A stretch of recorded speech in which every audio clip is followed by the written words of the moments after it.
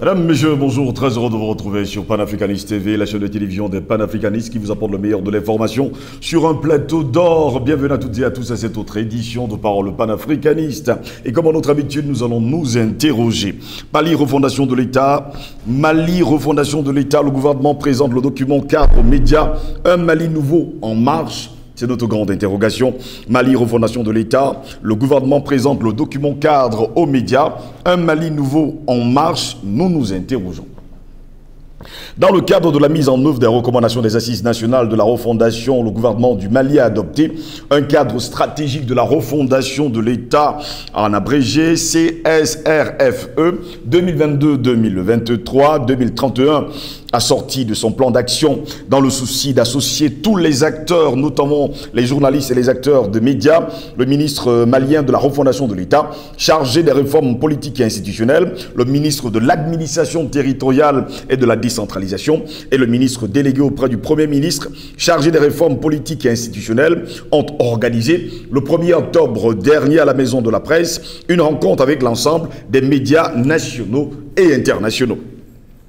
Dans son intervention, le ministre de la refondation de l'État, Ibrahim Issaka Maïga, a expliqué que le gouvernement accorde une importance capitale aux médias dans le cadre de la mise en œuvre du cadre stratégique de la refondation de l'État. C'est pourquoi les rencontres d'appropriation du document ont commencé par les médias.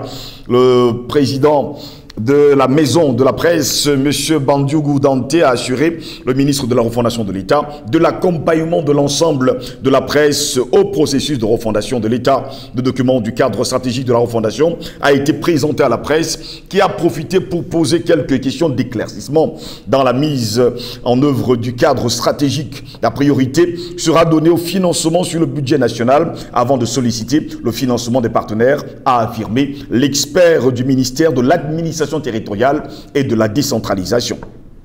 Rappelons également, mesdames, messieurs, que le document du cadre stratégique a été remis au Premier ministre par intérim. Oui, il faut le rappeler, le Premier ministre par intérim, le colonel Abdoulaye Maïga, a reçu en audience le jeudi 15 septembre dernier le ministre de la refondation de l'État chargé des relations avec les institutions, le professeur Ibrahim Ikassa Maïga, qui était venu remettre au Premier ministre par intérim des exemplaires du document du cadre stratégique de la fondation de l'État et son plan d'action. Ce document référentiel d'importance capitale donne suite aux recommandations formulées par les Maliens lors des assises nationales de la refondation ANR. Au nom du président de la transition, son excellence le colonel Assimi Goïta, et du premier ministre Shogel Kokala Maïga, le colonel Abdoulaye Maïga a félicité le ministre de la refondation de l'État chargé des relations avec les institutions pour l'élaboration de ce document et plus généralement pour ses efforts et son engagement afin que les assises nationales de la refondation soient un succès. Le Premier ministre, par intérim, a rappelé que la refondation appelle la notion de changement, changement qui doit intervenir dans tous les domaines, au premier chef, au niveau de la gouvernance et du rapport du citoyen et surtout de l'État.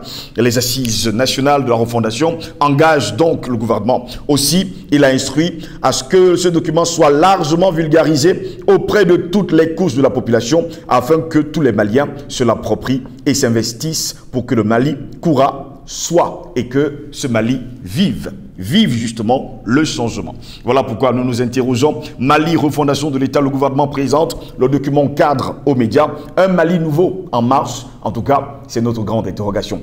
Eh bien, pour répondre à nos questions, nous sommes avec un homme politique qui a toujours parlé justement de ce contentieux historique. Et pendant ce temps, du côté du Mali, on parle de la refondation de l'État. Il s'appelle Patient Parfum d'Homme, il a eu P6 dans l'âme et il est toujours avec nous, panafricaniste dans la première heure. Patient Parfum d'Homme, bonjour, bienvenue à vous. Bonjour, euh, le maestro Steve Jocelyn Goss. Bonjour à nos nombreux euh, internautes qui nous regardent de par le monde, d'autant plus que euh, Panafricaniste TV est en train de prendre de volume. Et ça, euh, ce n'est plus un débat, comme on dit chez nous maintenant dans les, dans les chaumières. Et c'est une très bonne chose. je pense que l'Afrique en général le Mali en particulier, j'allais dire la, la bande sahélienne en particulier, en train de, euh, de traverser euh, un virage assez important, pas, une, période assez fructueuse de, son combat. On voit euh, que la résistance du Mali a fait des petits, si on peut le dire ainsi, parce que ce que nous voyons aussi se développer au niveau de Burkina Faso, tout en restant extrêmement vigilant, nous devons penser qu'en réalité, nous sommes à, l'aube d'une nouvelle réalité euh, euh, pour les peuples africains. Et cela doit évidemment passer par des, des, restructurations, des refondations, des, de reprogrammation, euh, de, construction de nouvelles mécaniques à la fois politiques, sociales et culturelles pour permettre justement de donner du sens, n'est-ce pas, à toutes ces revendications populaires qui sont simples. Il faut absolument que l'Afrique soit maître de son destin. Il faut absolument que les Africains vivent mieux chez eux. Et cela ne peut pas euh, euh, être euh, en, adéquation avec les anciennes structurations de nos États et surtout ces anciens systèmes qui en réalité n'étaient pas au service des Africains, mais plutôt de l'étranger. Et c'est pour cela que cela tombe à pic, cette réflexion qui a abouti à cette excellente proposition de refondation de ce document cadre n'est-ce pas, qui parle de la refondation de l'État malien et qui implique l'ensemble des composantes sociologiques, politiques, culturelles du Mali. C'est-à-dire, on dit aux Maliens aujourd'hui, voici, n'est-ce pas, euh, le, cadre, le framework de ce qui doit être fait dans le cadre de créer ce Mali nouveau, mais en réalité qui euh, reprend les thèses anciennes de ce Mali qui est un Mali de la liberté, qui est un Mali de l'indépendance, qui est un Mali de la souveraineté et qui, est aussi un Mali de la prospérité. Et pour cela, c'est vrai, on ne peut pas continuer à mettre de nouveaux vins dans des vieilles outres. Donc, évidemment, il fallait qu'on nous apporte cette outre qui est toute neuve et qui va recueillir ce nouveau vin pour nous permettre de le déguster euh, très amplement. Vous savez, nous les Africains... Peur que la nôtre se brise aussi. Ah oui, parce que je pense que euh, l'ancienne n'est plus du tout euh, qualifiée pour mener à bien cette nouvelle dégustation dont votre plateau en a fait une marque de fabrique. Merci à vous, impatient parfum d'homme, d'être avec nous ce matin. On parle justement du Mali, de la refondation de l'État. On se rappelle également des assises nationales de refondation qui sont déroulées du côté du Mali, précisément dans tout le Mali, on va le dire comme ça, dans les quatre coins du Mali. Et finalement, il en ressort un document cadre stratégique qui va construire un nouveau Mali. Et tous les pans de la société ont été soulignés. Est-ce un nouveau départ, une nouvelle marche? Ou alors, on est là, dans ce Mali-là que tout le monde connaît, qui a d'ailleurs la première constitution du monde? oui, euh, euh, comme je le disais à l'entendre mon propos, on ne peut pas faire autrement.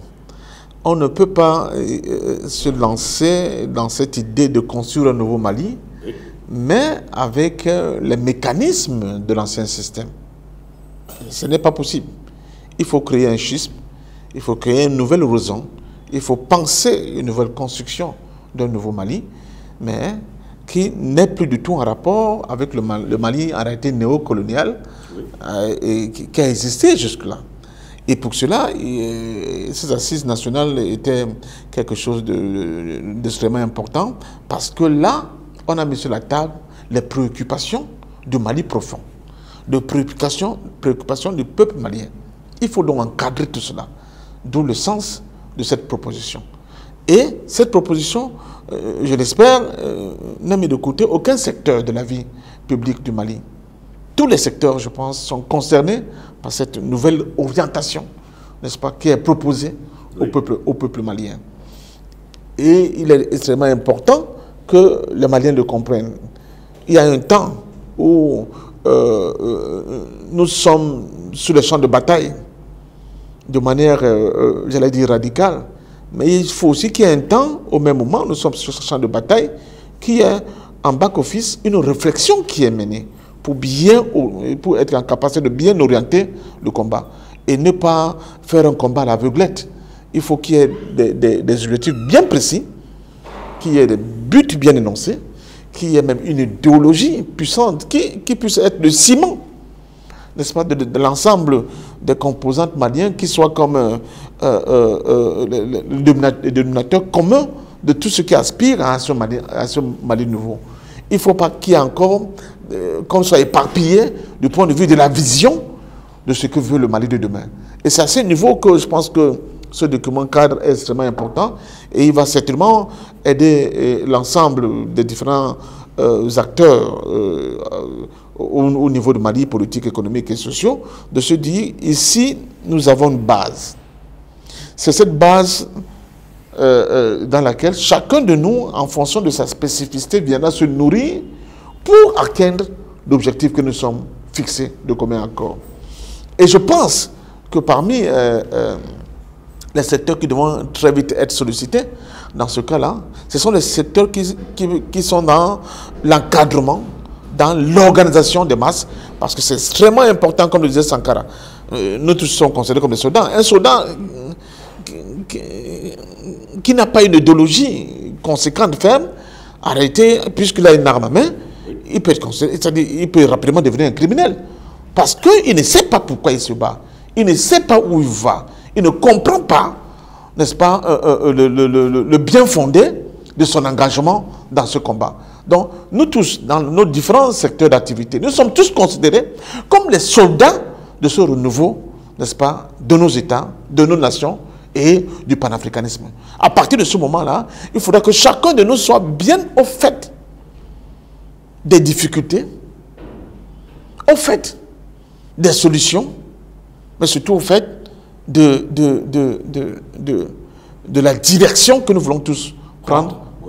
Avec les difficultés qu'il y a les erreurs, les embûches, hein, ça ne va pas être un long fleuve tranquille, hein, ça fait la construction des nations, ça a toujours été ça. Mais ce ciment dont j'ai parlé tout à l'heure, qui, est, qui, qui sera encadré par ce que vous avez dit, c'est cette volonté intime de chaque Malien de se dire il faut tourner la page du colonialisme. Il faut se libérer des chaînes. Il faut que 100 fleurs fleurissent, comme le disait Mao. Que chacun de nous, pensant à l'Afrique, pensant au Mali, puisse faire imploser le génie qui continue de, de sourd en lui. C'est de ça qu'il s'agit.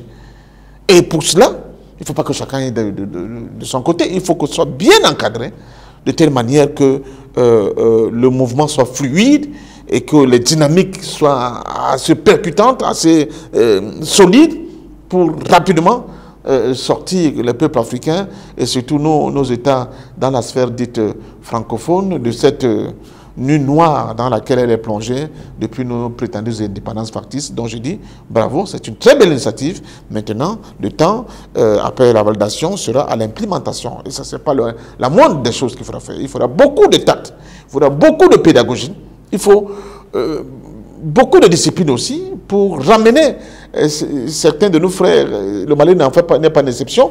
Il suffit de, de voir l'ensemble de nos pays.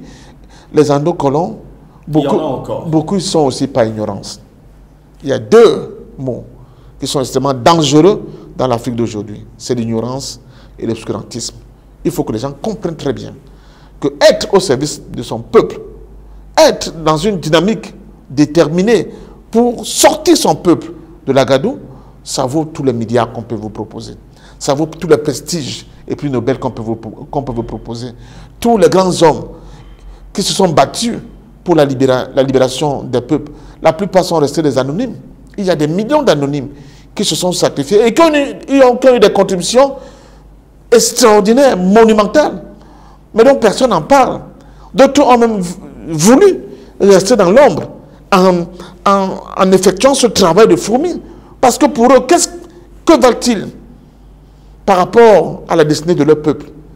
Ils ne peuvent être que des petits soldats de ce nouvel empire du savoir, cet empire de l'amour qu'est le panafricanisme. Donc à partir de ce moment-là, il faudra beaucoup de pédagogie, mais aussi beaucoup de discipline. Donc parce que nous n'avons pas l'avenir avec. Vous faites un appel à toutes ces personnes qui sont des endocolons, qui travaillent encore au sein, enfin pour la France, ou alors pour le colon, et qui jusqu'à preuve de contraire, vous vous rappelez quand même que près de 21 partis politiques du côté du Mali avaient reçu la somme de 22 millions d'euros de la part d'Emmanuel Macron. C'est eux que vous appelez aujourd'hui à changer et à entrer justement dans ce document cadre stratégique pour la refondation entière et totale du Mali.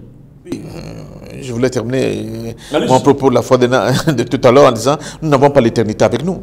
C'est-à-dire que nous ne pouvons pas attendre indéfiniment que les gens fassent leur chemin de Damas pour, pour lancer, n'est-ce pas, ce vaste chantier. Nous n'avons pas, on, ne peut pas se permettre, n'est-ce pas, de, de, de, paraître heureux. Il faut pas rester trop longtemps ici. Mais notre vœu et notre détermination, c'est de ramener tous les enfants de notre mère patrie que, euh, que représente notre, notre mère Afrique vers le véritable chantier de la reconstruction de notre continent, de la reconstruction de nos mentalités, de la, de, la reconstruction de nos esprits. Parce que nos esprits ont été corrompus pour la plupart. Et c'est ça qui donne lieu à, cet endocolonat. Corrompus, euh, euh, complètement, euh, j'allais dire, lobotomisé par tout ce qui est bling bling, qui est, on, a l'impression qu'on existe parce qu'on a reçu un prix d'une organisation occidentale on pense qu'on est valorisé, on est grand mathématicien, on est grand architecte, on est grand ceci, parce que ce sont les autres qui vous ont décerné ces prix. Je ne dis pas que, que ce soit une mauvaise chose en soi, mais qu'on comprenne très bien que le meilleur des prix qu'on puisse recevoir, c'est la reconnaissance des siens pour notre engagement dans cette lutte à mort pour les sortir de cette nuit noire dans laquelle l'Occident bien avant d'ailleurs la conférence de, de, Berlin nous a plongé. Et pour cela, chacun de nous a une responsabilité capitale, dans cette odyssée-là, dans cette barque dans laquelle nous sommes tous, euh, euh, euh, comment dire ça, embarqués, c'est sûrement la tautologie, si on peut le dire ainsi. Nous, chacun de nous a son poste à une responsabilité capitale.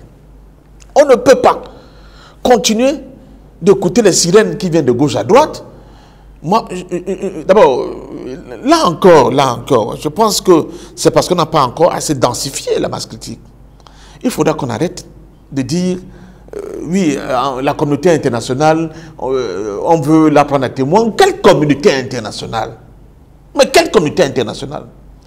C'est nous qui, ressentons la souffrance. C'est nous qui ressentons l'humiliation. C'est nous qui, ressentons les crachats sur notre visage. Donc il nous revient à nous de donner la mesure de ce que nous pouvons donner pour nous sortir de là. On ne le fait pas pour plaire à quelqu'un. On ne le fait pas pour plaire à une prétendue communauté internationale autoproclamée. Nous le faisons pour notre peuple, pour nos enfants demain. Pour que, quand l'heure du verdict final tombera, qu'on puisse dire oui, à ce moment-là, M. Ngossi était à la bonne place et il a donné la meilleure contribution possible qu'il aurait dû donner pour l'avancement de cette cause. C'est de ça qu'il s'agit. C'est aussi simple que ça. Mais malheureusement, nous avons encore des, frères et des amis qui, qui, sont occupés par des questions de, de, de plaisir de la chair ce n'est pas seulement. Il ne faut pas seulement le voir sur le. non, on vous comprend parfaitement. Voilà. Je pense que nos téléspectateurs vous comprennent. Voilà. Mais parce que euh, cette vie de jouissance, qui, qui, nous a tous transformés en, en, nos sœurs invétérées, en oubliant le martyr que vivent nos frères et sœurs les plus démunis, il faut mettre fin à ça.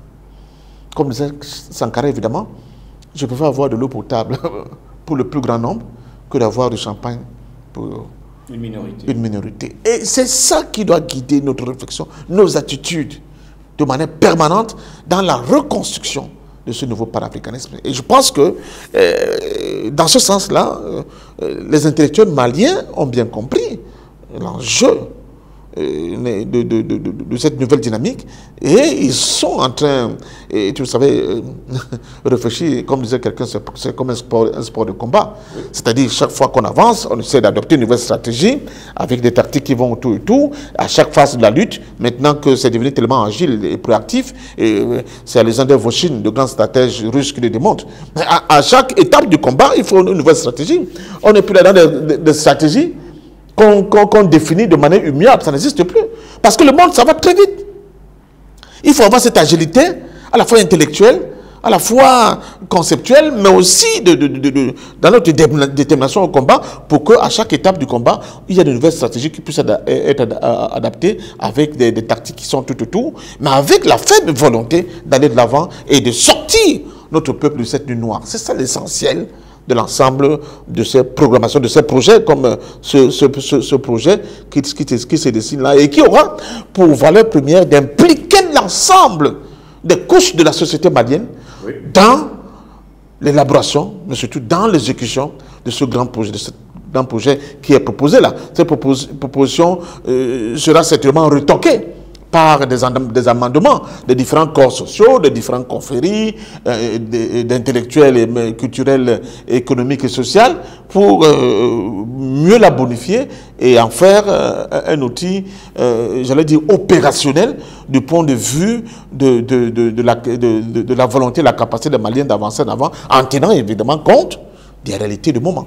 La réalité du monde, on parlait justement de la réalité du monde, c'est justement ce document qui ressort hein, des assises nationales de refondation qui ont eu lieu du côté de Bamako. On va également préciser que le 1er octobre dernier, ce document a été présenté aux médias nationaux et internationaux et le Premier ministre par intérim et le président de la transition, le colonel Assimi Goïta, a demandé que tous les Maliens puissent recevoir ce document entre leurs mains pour que tout le monde sache qu'il est responsable d'un nouveau Mali.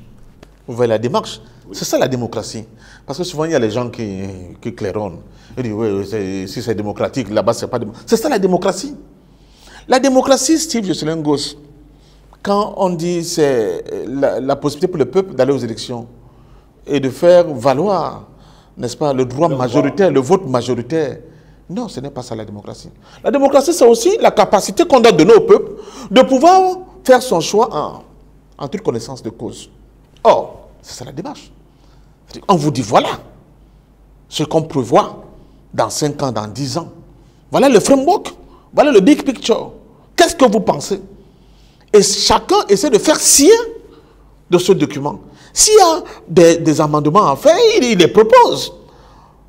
Il les propose, les syndicats, la société civile, les différentes corporations, etc. Il dit oui, mais dans ce cadre-là, parce que nous, c'est notre domaine, nous pensons qu'on peut améliorer, on peut ajouter, et puis la discussion s'organise. À la fin de cette discussion, puisque tous les Maliens sont maintenant d'accord sur ce qu'on doit faire, on adopte, n'est-ce pas, ce, document-là, qui fait référence de, de la feuille de route commune à tous les Maliens, et on peut maintenant avancer. C'est ça le processus démocratique par excellence, n'est-ce pas, des pays qui veulent se sortir, n'est-ce pas, de, des ténèbres. Mais parce que ce que l'Occident vous montre là, c'est plus que catastrophique. On vous dit, oui, les élites débattent là-bas entre eux. Souvent, euh, regardez les taux de participation euh, de, populations en âge de voter à ces différentes élections, ça donne fraude. Ils sont de l'ordre entre 20 et 30% Donc, c'est des minorités, en réalité, qui dirigent le monde. Et mieux, l'exemple le, plus patent euh, dans cette affaire-là, c'est par exemple l'Union européenne. Parlons de l'Union européenne une seconde.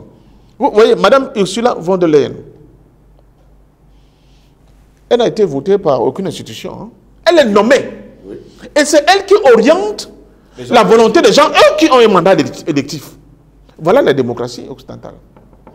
Et dans la plupart des cas, tous les hauts fonctionnaires de l'Union européenne, là, ce sont des gens qui ont échoué à pouvoir diriger même le monde petit ministère dans leur propre pays. Mais c'est eux qu'on bombarde, n'est-ce pas, au niveau de l'instance fertière qui fait, la, qui fait la politique de l'Union européenne. Et ils prennent des décisions souvent qui sont complètement, n'est-ce pas, à, l'opposé de, des aspirations profondes de ce peuple. C'est la, la politique des sanctions. C'est ça la politique des sanctions. Le peuple demande, mais quel est l'intérêt pour nous de payer le prix que vous voulez nous imposer là? C'est quoi? C'est une espèce de, de taux-flagellation? Non, parce qu'ailleurs, dans d'autres cercles, qui justement sont ces cercles-là, qui sont dans les nuits là-bas, hein, où les hommes sont des, comment vous appelez ça, mi-homme, mi-cheval. Vous vous souvenez dans l'histoire de... Oui, hein? ça c'est les histoires de la Grèce antique. mais, tu, ne comprends pas? On n'est pas Pégase. Et c'est eux qui veulent maintenant diriger le monde. Ça ne peut pas marcher comme ça. Et c'est pour ça que j'estime que, à l'instant, ce que vous avez dit, avec, euh, je pense, la charte Mandeng, que vous avez, celle que vous avez évoquée, la démocratie est née en Afrique. La démocratie est purement africaine. La démocratie africaine donne la possibilité à chaque Africain de participer, je dis déjà, à l'élaboration, à l'élaboration des textes cadres qui vont régenter la vie de leur pays. Et le Mali est en train de donner une leçon de démocratie. Et le Mali donne une leçon de démocratie au monde. J'espère tout simplement que nos frères égarés qui ont écouté les sirènes de ces chansons de la démocratie, il faut que la communauté internationale soit d'accord, et là nous sommes accusés dans le piège. Vous voyez, avec ce monde euh, où ce sont ces happy few qui détiennent et les banques et les, mines et, les services, parce qu'ils ont les robinets financiers qui peuvent fermer à nos États à tout moment, il faut déconstruire l'économie qui est dominée par le pétrodollar. Il faut un monde multi, euh, euh, multipolaire. C'est pour ça que l'opération spéciale de la Russie en Ukraine est extrêmement importante elle participe de la volonté de l'humanité d'appliquer un violent coup de sabre à ces gens-là qui ne veulent pas, qui ne veulent rien écouter, qui pensent qu'on leur a donné cette planète-là en héritage. Il faut que ce soit l'humanité qui parle. Mais pour faire parler l'humanité, il faut au, niveau nano, dans nos propres cuisines, avoir l'expression achevée de ce que c'est la démocratie. Et c'est cette initiative, dans son parcours, dans sa démarche, dans son élaboration, et c'est tellement qui va aboutir à sa validation, c'est ça le chemin démocratique.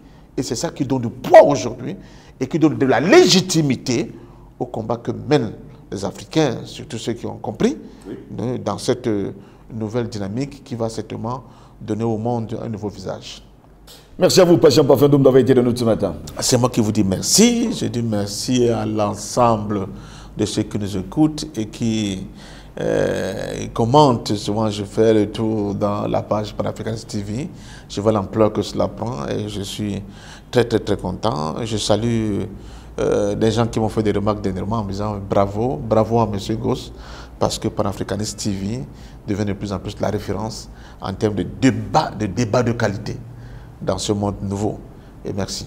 Merci à vous également, patient parfum Mesdames, Messieurs, c'est ici que s'achève cette autre édition de Parole panafricaniste sur Panafricaniste TV. Très bientôt, nous serons dans les ménages. Vous n'avez qu'à être patient. Je sais, vous êtes très nombreux à m'écrire tous les jours.